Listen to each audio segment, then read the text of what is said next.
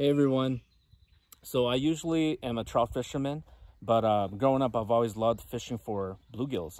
And so today I've been uh, trying to target some of those really, really pretty orange spotted sunfish. And so we're out here today out in this lake that's supposed to have a good amount of orange spotted sunfish. And so I'm gonna hope that we get some today. And uh, as we do, I will share some of those clips with you.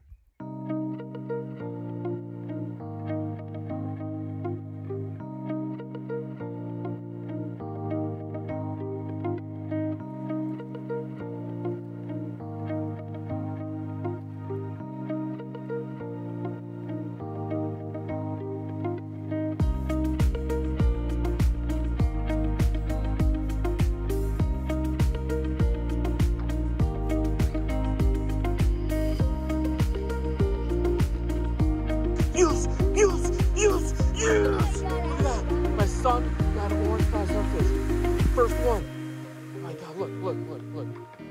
Wow, look at that. Let's get in the sun. Look at that.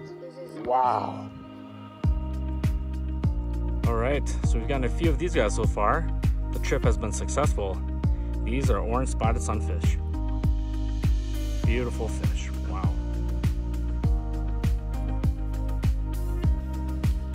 All right, here's another orange spotted sunfish that we just caught.